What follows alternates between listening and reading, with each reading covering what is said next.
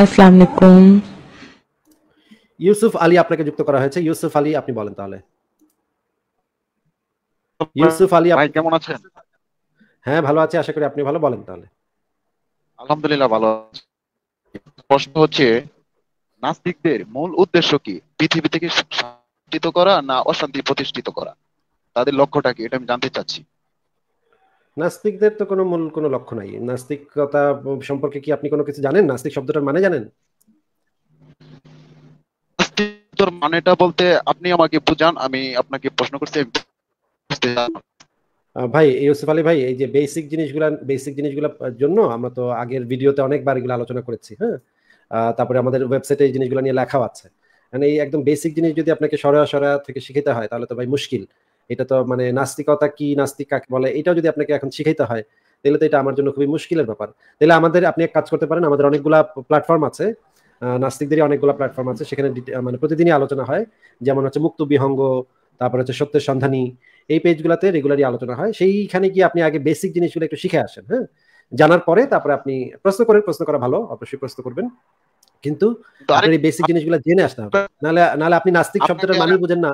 কথাটা কথাটা শেষ করে নেই কথাটা শেষ করে নেই। নাস্তিক শব্দটার মানেই বুঝেন না নাস্তিকদের উদ্দেশ্য কি সেটা আপনি মানে প্রশ্ন করা শুরু করছেন। আগে তো আপনার নাস্তিক শব্দটা কাকে বলে? এটা সংজ্ঞাটা কি? এইটা অন্তত জানা থাকতে হবে। এখন যদি আপনাকে আমি জিজ্ঞেস করি ভাই কুতু কুতু মারতে কাতা আড়ার এইটার উদ্দেশ্য কি ভাই? বলেন তো। আপনার কথাটা ক্লিয়ার আমি বুঝতে পারি নাই আমাকে। আচ্ছা আবার আরেকবার বুঝে আপনি বলেন কুতু কুতু কাটাবাড়া কুতু কুতু কারাবাড়া এটার উদ্দেশ্য কি ভাই? ভাই আমি এটা বলতে পারব না এই বিষয়ে আমার জানা নেই। কিন্তু তাহলে তাহলে তাহলে তো আমার আগে আগে আগে আগে হচ্ছে যে আপনি আমি যখন এই প্রশ্নটা আমিও জানি না ইনফ্যাক্ট আমিও এই কুতু কুতু কারা কারা এটার অর্থ আমিও জানি না। আমি যখন এই প্রশ্নটা করব অন্তত পক্ষে আমার এই জিনিসটার সংজ্ঞাটা জানা থাকতে হবে তাই না? সংজ্ঞাটাই আমি বুঝি না এই কুতু কুতু কারা কারা এটা কি? এটা খায় না মাথা দেয় এটার সংজ্ঞাটা কি? এটাই আমি বুঝি না এটার উদ্দেশ্য আমি বুঝতে যাব কেমনে ভাই? এটাই আমি বুঝি না এটার উদ্দেশ্য আমি কেমনে বুঝতে পারব? এই জন্য আপনাকে আমি একইভাবে একটু কথা কথাটা শুনে নেন কথাটা শুনে নেন কথাটা শুনে নেন। আপনি এখন পর্যন্ত নাস্তিক কাকে বলে? নাস্তিক, নাস্তিকতা কি? এটা সংজ্ঞাটা এখন পর্যন্ত বুঝেন না। এখন পর্যন্ত জানেন না। তাহলে আপনি এটা, এর উদ্দেশ্য কি? অত দূরে আপনি গেছেন কেন ভাই? আপনার তো আগে উচিত ছিল যে এই জিনিসটা কি? এটা কারে কয়? এটা, এরা কি করে? এটা না করে? এটা কেমনে হয়? এই জিনিসটা আগে জানা। জানার পরে তখন তাদের উদ্দেশ্য কি, বিধেয় কি, সেটা আপনি পরে আসবে, তাই না?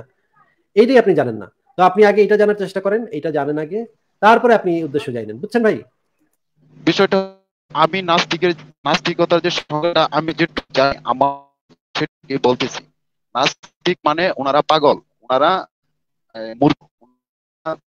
কিছু যে না ওরা পৃথিবীতে অশান্তি বিরাজ করতে চায়।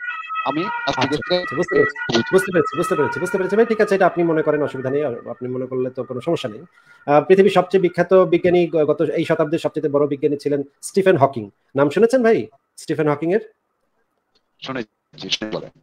উনি একজন নাস্তিক ছিলেন তো উনি তো একজন আপনার সঙ্গ অনুসারে তিনি তো একজন পাগল তাই না? হ্যাঁ অবশ্যই সে যদি নাস্তিক হয় এবং আপনি হচ্ছেন আপনি এবং আপনারা হচ্ছেন ইন্টেলিজেন্ট বুদ্ধিমান অনেক জ্ঞানী জ্ঞান জ্ঞানবান বুদ্ধিমান বিজ্ঞানী দার্শনিক। শুনেন দৃষ্টিভঙ্গি আমি বলতেছি যে নাস্তিক মানে না না আপনাকে আপনাকে তো যেটা জিজ্ঞেস করেছি আপনাকে যেটা জিজ্ঞেস করেছি ভাই আপনার কথা কথা কেটে কেটে কেটে কেটে যাচ্ছে ভাই আপনার কথা বোঝা যায় না, আপনার কথা তো বোঝা যায় না ভাই। আপনার, আপনি বইলা লাভ কি? আপনার কথাই তো বোঝা যায় না। আচ্ছা উনি বলতে চাচ্ছেন যে নাস্তিক মানে হচ্ছে পাগল। নাস্তিকরা হচ্ছে পাগল। আচ্ছা পৃথিবীর সবচেয়ে বড় বড় বড় সব বিজ্ঞানীরা হচ্ছে কি নাস্তিক? পৃথিবীর সবচেয়ে বড় বড় যত দার্শনিক আছে। যেমন ধরেন এই যে আমার পেজে যে যাদেরকে, যাদের ছবিগুলো দিয়ে রাখছি, দেখেন। আমরা এখা- এখন আমাদের মানে জ্ঞানী কয়েকজন ব্যক্তির ছবি আমরা দেখাবো। এই যে দেখেন, এখানে কয়েক- কয়েকজনের ছবি আছে, Stephen Hawking, Ishwarchandra Vidyasagar, Darwin, যদিও নাস্তিক ছিলেন না, কিন্তু উনি শেষ জীবনে মোটামুটি অ্যাগনোস্টিক হয়ে গেছিলেন। তারপরে আরুজালি মাতব্বর, জিওনার্দো ব্রুনো তারপর বার্টন রাসেল, তারপরে এখানে দেখা যাচ্ছে সক্রেটিসকে। এরা হচ্ছে সবাই সক্রেটিস যদিও সরাসরি নাস্তিক ছিলেন না, কিন্তু ওনার কথাবার্তা যা বোঝা যায়, সংশয়বাদী ছিলেন তো অবশ্যই, কিন্তু অজ্ঞবাদীও ছিলেন। এরা সবাই হচ্ছে পাগল।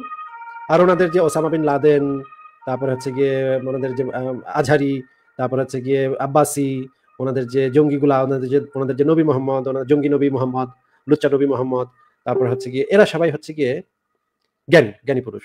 মানে কি একটা অবস্থা, চিন্তা করেন ওনাদের মানে বুদ্ধি শুদ্ধি মানে এই জন্য আমি বলি যে, এই টাইপের মুমিনেরা মানে যুক্ত হইলে আমার মানে খুবই মর্মান্তিক লাগে মানুষজন কীভাবে এত মানে বুদ্ধিহীন হয় হ্যাঁ। সবচেয়ে বড় বড় বিজ্ঞানী, দার্শনিক, তারা মানে সভ্য পৃথিবীর সভ্য পৃথিবীর। আচ্ছা আমরা কয়েকজন, একটা হুজুরের একটু ওয়াজ দেখি দেখি ওনাদের বিজ্ঞানী ওনাদের বিজ্ঞানী ওদের একটু ওয়াজটা আমরা একটু শুনে দেখি, ওনাদের বিজ্ঞানীরা কি বলছেন, ওনাদের জ্ঞানী বিজ্ঞানী ওনারা কি বলছেন সেটা একটু শুনে দেখি। আমি একটা একটা ভিডিও চালাই, দেখেন আপনারা ওদের বিজ্ঞানীদের অবস্থা দেখবেন আপনারা। দাঁড়ান একটু, হয়ে গেল। আমি মানে আমার ইসে থেকে তো শেয়ার দিয়েছিলাম অনেকগুলো ভিডিও আমার পেজ থেকে তো অনেকগুলো ওনাদের বিজ্ঞানীদের ভিডিওগুলো শেয়ার দিয়েছিলাম। আমি রেগুলারই শেয়ার টেয়ার দিই এই বিজ্ঞানীদের ভিডিওগুলা আমাদের বিজ্ঞানী।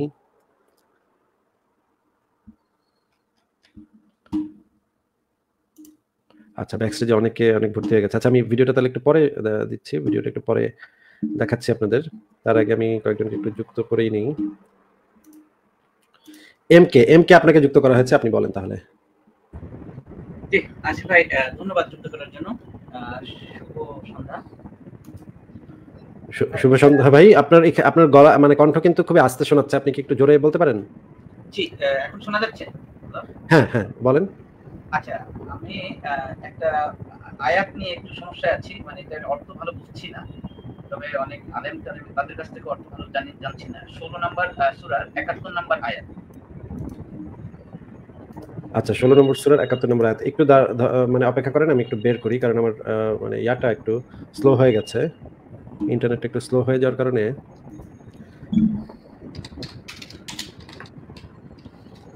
ষোলো নম্বর সুরার একাত্তর নম্বর আয়াত। আচ্ছা, সাপ্লিমেন্টারি আয়াত আছে আবার তিরিশ নাম্বার সুরার আঠাশ নাম্বার আয়াত।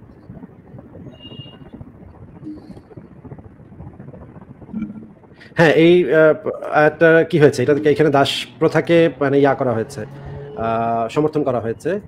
এখানে বলা হয়েছে আচ্ছা আমি স্ক্রিনে দেখাচ্ছি। এই এই এই আয়াতটার ব্যা- ব্যাখ্যা এবং এই আয়াতটার যে তাফসির, সেটা আমার ওই লেখাটার মধ্যে আছে। ইসলামে অমানবিক দাস প্রথা এই লেখাটার মধ্যে আছে। এখানে যে জিনিসটা বলা হচ্ছে আর আল্লাহ রিজিক তোমাদের কতকে কতকের ওপর প্রাধান্য দিয়েছেন, কিন্তু যাদেরকে প্রাধান্য দেওয়া হয়েছে, তারা তাদের রিজিক দাস দাসীদের ফিরিয়ে দেয় না। এই ভয় যে তারা তাতে সমান হয়ে যাবে। তবে তারা কি আল্লাহর নিয়ামতকে অস্বীকার করছে? মানে তোমরা তো তোমাদের এইটার আরও অনুবাদ আছে, অন্য অনুবাদগুলোতে বলা হয়েছে, তোমরা তো তোমাদের মানে টাকা পয়সা তোমাদের দাস দাসীদেরকে দাও না। তাহলে আল্লাহ আল্লাহ, কারণ কি? কারণ তোমরা তাতে সমান হয়ে যাবে। এই সমান হয়ে যাওয়ার ভয়ে তোমরা দাও না। তাহলে কি তোমরা আল্লাহকেও সমান বলে মনে করো? এই রকমের একটা ঘটনা এখানে বর্ণনা করা আছে। তো এই এটা মানে তাফসির আপনি কি দেখেন নাই ভাই? হ্যাঁ তাফসীর দেখেছি, কিন্তু ওখানে বিভিন্ন হুজুরা, তারা বলে কি যে এখানে আল্লাহ বলছে যে এই রিজিক ওদের ওদের মধ্যে বাট করে দিতে হবে না, না, না, না মোটেও না মোটেও না। রিজিক কখনো ভাগ করে দিতে হবে। এখানে বলা হচ্ছে যে তোমরা তো দাও না তাহলে আল্লাহ কেন দিবে? আল্লাহ তোমাদের সমকক্ষ কেন হবে? আপনি যে কোনো তাফসির করেন যে কোনো তাফসিরে এই জিনিসটাই বলা আছে। মারিফুল কোরআনটা পড়ে দেখেন এবং সাথে হচ্ছে গিয়ে তাফসিরে জালালাইনটা পড়ে দেখেন এই কথাই বলা আছে।